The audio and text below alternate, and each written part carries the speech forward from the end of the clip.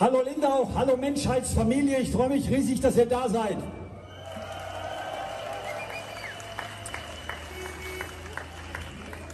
Es ist heute schon mehrmals das Wort Nazis gefallen und dazu möchte ich euch gleich etwas vorlesen. Bitte schaut auf meine linke Hand. Solange ich diese linke Hand hebe, geht es um ein, ein bedeutsames, einen bedeutsamen Inhalt. Bitte schaut auf die linke Hand. Diese Worte, Nazis, Rechte, Extremisten, sind über Jahre hinweg stets als Schmähetikett willkürlich auf alle Bürger angewandt worden, die der Macht ohne Rücksicht auf ihre politische Gesinnung, aus welchen Gründen auch immer, unbequem geworden sind.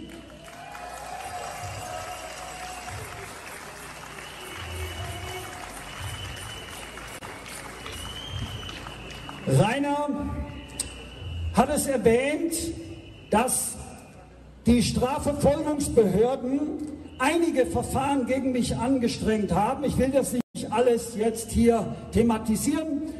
Nur eins möchte ich euch sagen und wieder hebe ich die linke Hand. Die Anklage wirft mir meine Meinungsäußerungen vor. Als Bürger, dem daran liegt, dass sich unser Land in Frieden und Ruhe entwickeln kann, glaube ich fest daran, dass auch die Staatsmacht endlich aus dem, was geschehen ist, Lehren ziehen wird, dass sie einen würdigen Dialog mit allen Teilen der Gesellschaft beginnen wird. Ich glaube, dass sie niemanden von diesem Dialog dadurch ausschließen kann, indem sie ihn als Nazi, Delegitimierer des Staates, Volksverhetzer, Verleumder oder Rechter beschimpft.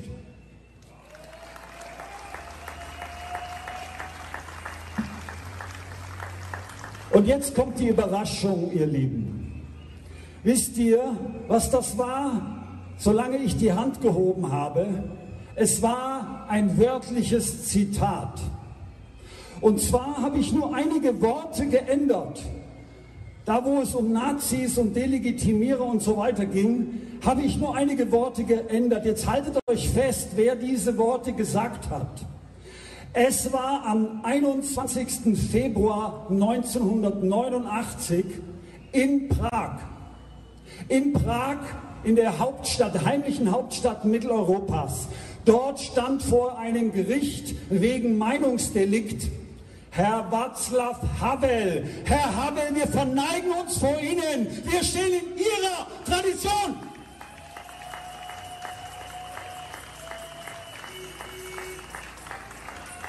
Sie haben es versucht, am 1., am 29. August 2020, am, im August 2021 in Berlin. Was wollten Sie uns verbieten?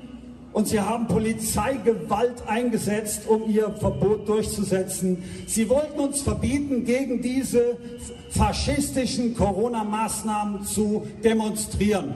Und was haben sie geerntet? Wir haben umso mehr demonstriert. Wir haben im ganzen Land demonstriert. Wir sind zum Teil von der Straße nicht mehr heruntergekommen. Und am Ende mussten sie ihr Projekt, den Impfzwang für Deutschland, zu Grabe tragen. Krachen sind sie gescheitert am 7. April 2022 und ihr habt dazu beigetragen.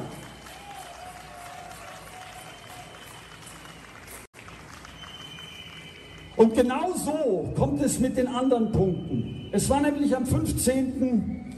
Januar 2022, da hat ein Redner in Ravensburg Stellung bezogen zu der, zu der sogenannten Impfspritze.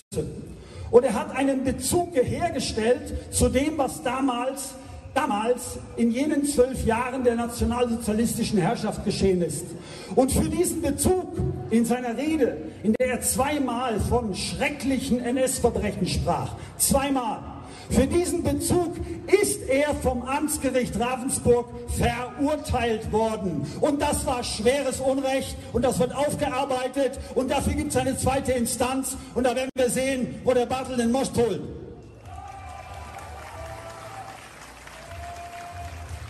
Dann kommt der 14. Mai 2022 in Hannover. Auch dort ist ein Redner daran gehindert worden. Ich weiß gar nicht, wann das in der gesamten Geschichte der Bundesrepublik vorher jemals der Fall gewesen wäre.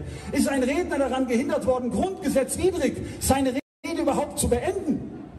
Sie haben ihn mitten in der Rede von der Bühne heruntergeholt und haben damit dann, also er hat dagegen, äh, der Redner hat dagegen einen Strafantrag gestellt. Der wurde abgeschmettert von derselben Staatsanwaltschaft, die zwei Monate später ihm einen Strafbefehl geschickt hat wegen angeblicher Rechtfertigung, Billigung eines Angriffskrieges.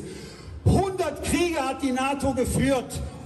Angriffskriege, völkerrechtswidrige Kriege geführt, in die, allein im 20. Jahrhundert. Und da kommt einer, und er kritisiert einmal die NATO und plötzlich soll das eine Rechtfertigung der anderen Seite sein. Ja, ist das, sind wir Ballaballa oder was? Und dann kommt der 15.10.2024. Also das ist vor ein paar Wochen gewesen. Und da hat jemand ein Schild. Und auf dem Schild steht drauf, kein Missbrauch der Polizei durch Regierungsfaschisten. Ja, und dabei ist etwas passiert, mit dem wir uns jetzt kurz beschäftigen. Wir beschäftigen uns damit im Spiegel eines Artikels, der in einer, in einer Konzernmedien, in einem Konzernmedium ähm, veröffentlicht wurde. Dieser Artikel, der arbeitet das auf, was dort geschehen ist am 5. Oktober 2024 in Eichach. Und wir gehen den Artikel kurz durch. Da heißt es, Zitat, der Zwischenfall auf der Solidaritätskundgebung. Also allein das Wort Zwischenfall zeigt schon, dass der Verfasser dieses Artikels das Ganze runterstufen will. Dann schreibt er, Zitat, die Polizei nahm dort für kurze Zeit Daniel Langhans in Gewahrsam. Zitat Ende. Wenn man den Satz liest, dann hat man den Eindruck, naja, das war ja nur für kurze Zeit, oder? Und äh, das war ja nur ein Gewahrsam und das war ja nichts Schlimmes. Diesen Eindruck hat man. Aber wenn es dafür keine rechtliche Grundlage gibt, dann handelt es sich um Freiheitsberaubung im Amt durch diese Polizeieinsatzkräfte und jetzt möchte ich mal eine Frage stellen an den Verfasser dieser Zeilen, aber auch darüber hinaus an alle Journalisten, die diesen Staats- oder Konzernmedien nach wie vor ihren Gehorsam leisten. Möchtet ihr in einem Land leben, in dem ihr jederzeit ohne Angabe von Gründen Polizeigewahrsam genommen werden könnt? Möchtet ihr in einem solchen Land leben? Ich denke nicht. Die gleiche Frage könnte ich an die Gegendemonstranten stellen. Und jetzt stelle ich die Frage an euch. Möchtet ihr in einem solchen Land leben? Dann ging es weiter in dem Artikel. Da heißt es, das geht immer in solchen Artikeln, wo mein Name aktuell erwähnt wird, da kommt dann spätestens im dritten Satz dieses Wort, das in Deutschland schlimmer wirkt als die schlimmste aller Straftaten. Zitat. Der ist ein überregional bekannter Kopf der sogenannten Querdenker-Szene und wurde bereits wegen Volksverhetzung zu einer Geldstrafe verurteilt. Zitat Ende. Was ist die Wirkung? Was ist die Wahrnehmung des Lesers? Ach, das ist so ein halber Krimineller und ein Volksverhetzer ist er auch. Also was ganz Böses also. Das ist die Wirkung, die diese Journalisten durch diese Sätze erzeugen. Das Entscheidende hat er weggelassen, dass nämlich dieses Urteil gar nicht rechtskräftig ist. Und dass solange ein Urteil nicht rechtskräftig ist, was gilt? Die Unschuldsvermutung. Und jetzt möchte ich auch wieder die Journalisten, aber ich nehme jetzt die Polizisten dazu, ich nehme auch die Staatsanwälte dazu, ich nehme die Richter dazu. Möchtet ihr in einem Land leben, in dem durch Medien Menschen an den Rand der Gesellschaft gedrängt werden, obwohl ihnen im strafrechtlichen Sinne null Vorwurf gemacht werden kann, weil dieses Urteil gar nicht rechtskräftig ist. Wollt ihr in einem solchen Staat leben? Wollt ihr in einem Land leben, wo man Menschen veracht, verächtlich in Medien behandeln kann, ohne dass das seinerseits strafrechtlich verurteilt wird? Machen wir weiter. Der nächste, der, der nächste Absatz. Der gesamte Vorfall, Zitat, sei der Staatsanwaltschaft übergeben worden. Zitat Ende. Teilte äh, Michael Jakob, Leiter der Polizeiinspektion Eichach, auf Anfrage unserer Redaktion mit. Jetzt Zitat Ende. Also folgendes. Was ist daran wichtig an diesem Satz? Glaubt ihr wirklich, glaubt hier auf dem äh, Platz jemand, dass die Polizei diesen Vorfall an die Staatsanwaltschaft übergeben hat? Oder glaubt ihr, dass es eher umgekehrt war, dass die Staatsanwaltschaft die Polizei angewiesen hat, gegen diesen Teilnehmer an der Demonstration auf diese Weise vorzugehen?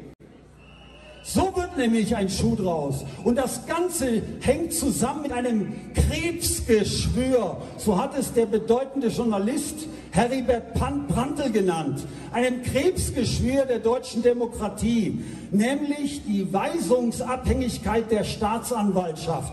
Die bekommen ihre Befehle aus der Politik und setzen sie wie, wie Hunde einen Befehl sklavisch um. Und damit muss Schluss sein. Ich möchte nicht in einem Land länger leben, in dem es keine wirkliche Gewaltenteilung gibt. Oder wollt ihr das?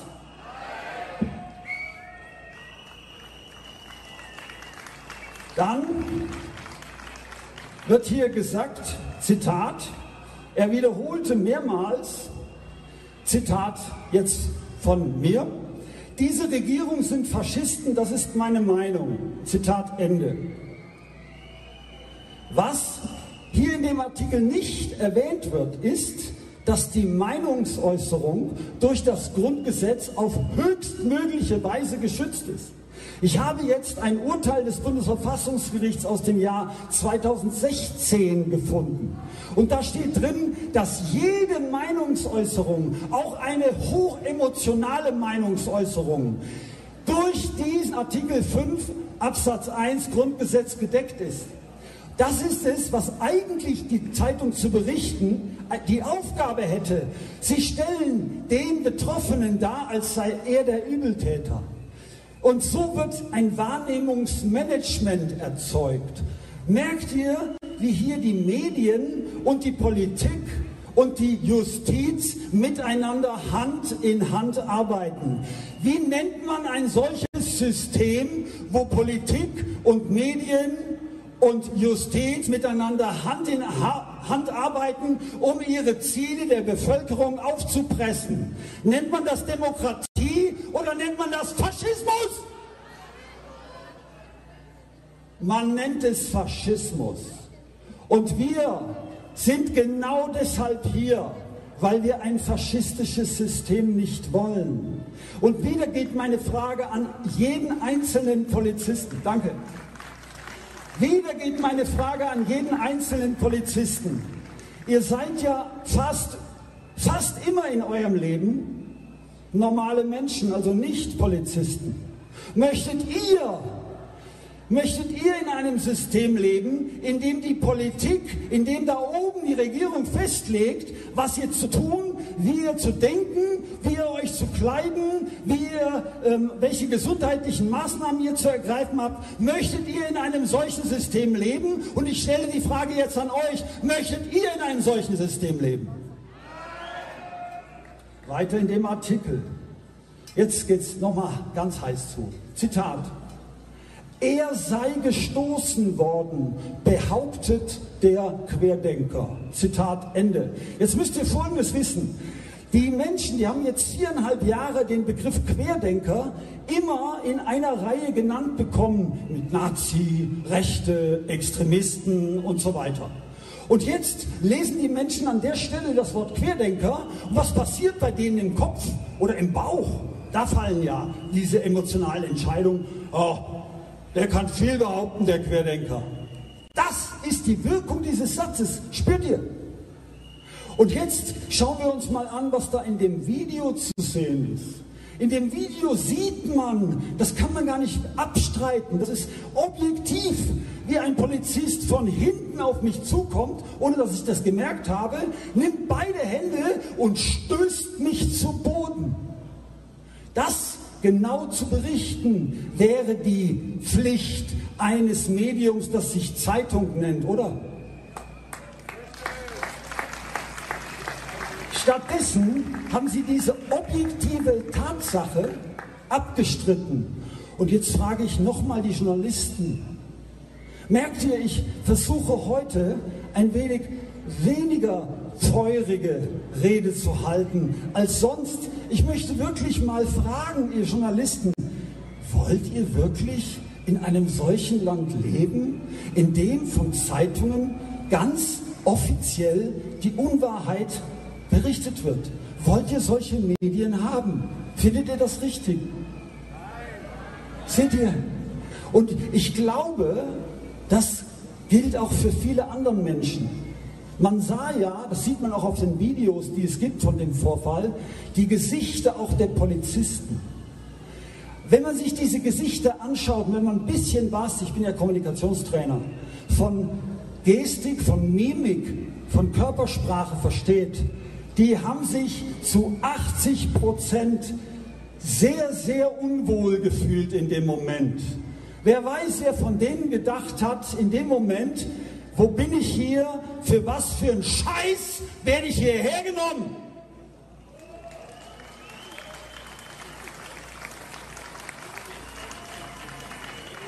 Ja, ihr Lieben, ich möchte nicht in einem Deutschland leben, das dadurch gekennzeichnet ist, dass zu jedem Zeitpunkt auf der Straße ein Polizist auf einen Menschen zukommen kann und sagt, du kommst jetzt mit. Und wenn der Mensch dann sagt, warum, sagt der Polizist nichts. So war das in Eichach. Er sagt nicht den Grund, sondern sagt nur, du musst jetzt mitkommen. Wollt ihr in einem Deutschland leben, in dem ihr jederzeit von Polizeikräften von der Straße weggeholt werden könnt und mitgeschleppt werden könnt? Ihr Polizisten, ihr seid ja fast überall nicht Polizisten. Wollt ihr in einer Situation leben, wo man euch, wo andere Polizisten euch in Ausübung ihres Amtes jederzeit von der Straße pflücken können, ohne Angabe von Gründen? Wollt ihr das? Seht ihr, jetzt wisst ihr, warum ich dieses Schild hier vorne trage. Und wenn wir mit so einer Plakette im Laden angetroffen werden, dann haben wir folgende Möglichkeit. Dann können wir sagen, wenn uns jemand fragt, was bedeutet denn das Nein, dann können wir sagen, Gegenfrage stellen. Gegenfrage.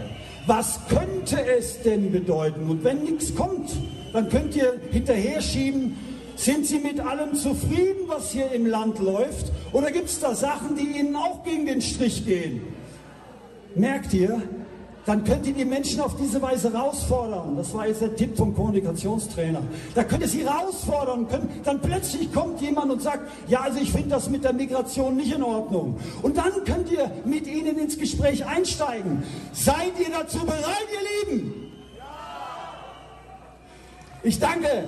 Und jetzt machen wir noch, haben wir noch zwei Minuten? Nein, nicht mehr. Also, dann lassen wir jetzt heute das Lied weg. Beim nächsten Mal wieder. Danke, dass ihr da seid, ihr Lieben.